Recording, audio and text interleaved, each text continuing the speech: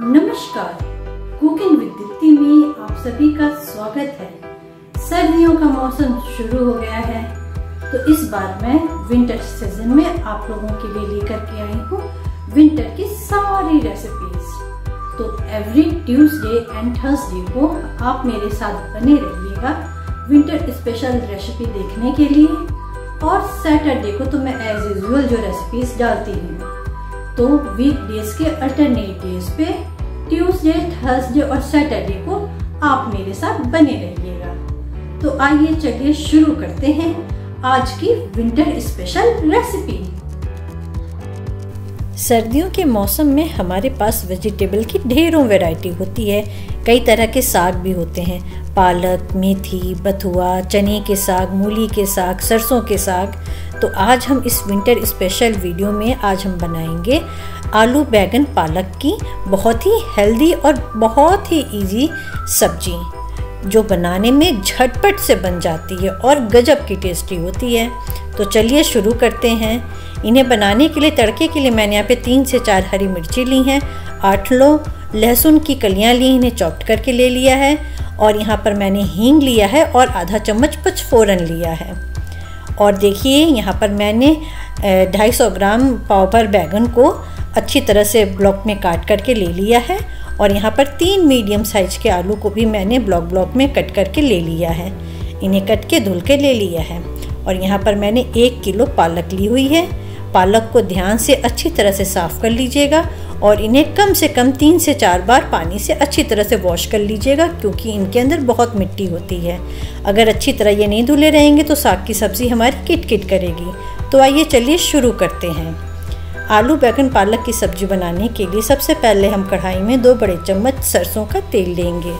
ध्यान रखिएगा, कोई भी साग की सब्ज़ी बनाइए तो उसमें सरसों के तेल का ही यूज़ कीजिए। सरसों के तेल से साग की सब्ज़ी बहुत ही टेस्टी और बहुत ही अच्छी बनती है। जब हमारा सरसों का तेल अच्छी तरह से गर्म हो जाएगा, तब हम इसमें पहले हींग डालेंगे और पचफोरन डालेंगे। साग की सब्ज़ी बनाते समय आप हींग का ज़रूर यूज़ कीजिएगा, ये डाइजेशन में अच्छी होती है। और जब हमारे पचफोरन में दाने तड़कने लगेंगे, तब हम इसमें बारीक कटे हुए लहसुन डालेंगे। साग में लहसुन का क्वांटिटी थोड़ी ज़्यादा रखिएगा, क्योंकि लहसुन का बहुत ही अच्छा टेस्ट निखर के आता है। और लहसुन को बहुत अच्छी तरह से हम डीप फ्राई करेंगे ताकि इनका कलर पूरी तरह से चेंज हो जाए और ये डार्क गोल्डन हो जाए। देखिए, इस तरह से हम लहसुन के दानों को बहुत अच्छी तरह से भून लेंगे और फिर हम इसमें कटी हुई हरी मिर्ची डालेंगे।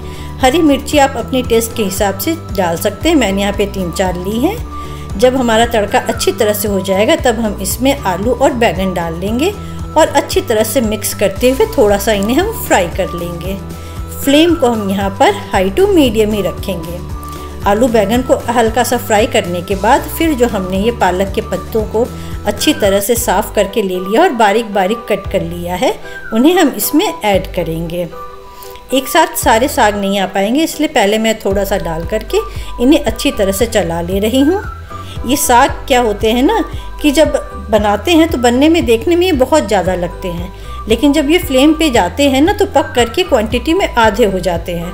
तो आप परेशान ना होइएगा, सारे पालक को ऐसे ही कढ़ाई में रख करके आप कवर कर दीजिएगा एक दो मिनट के लिए। ये एक दो मिनट में देखिए, इनका गलने का प्रोसेस शुरू हो जाएगा। देखिए, हमारे साग अब गलना शुरू हो गए हैं। ये हल्के हल्के गलने लगे हैं।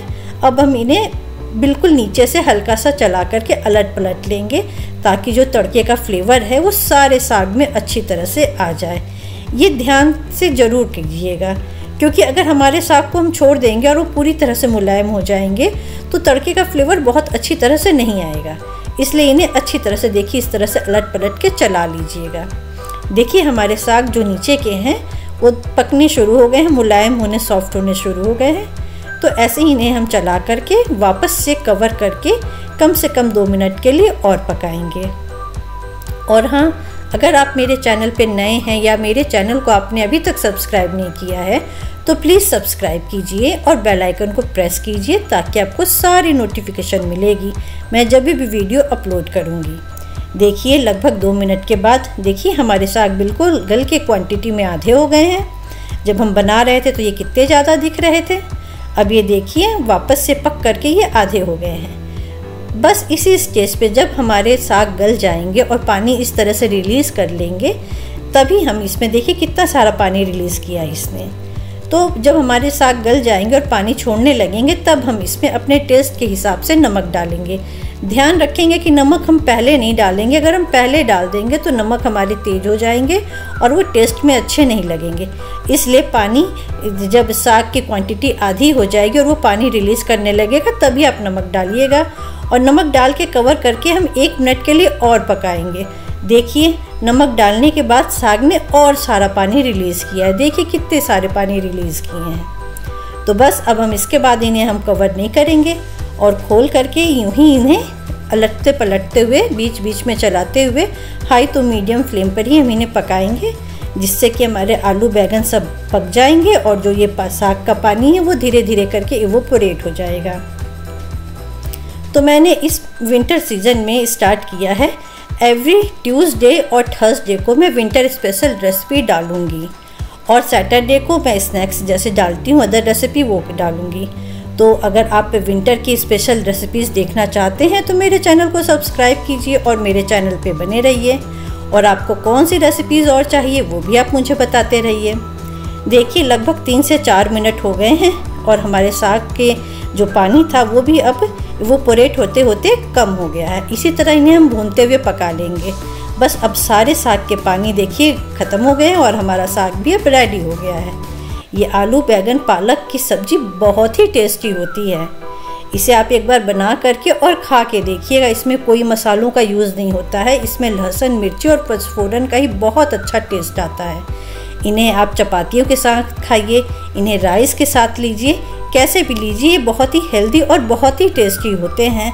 तो एक बार आप इस तरह से इस रेसिपी से ज़रूर आलू बैगन पालक बनाइए और मुझे अपने फीडबैक बताइए। Thank you for watching please like and subscribe my channel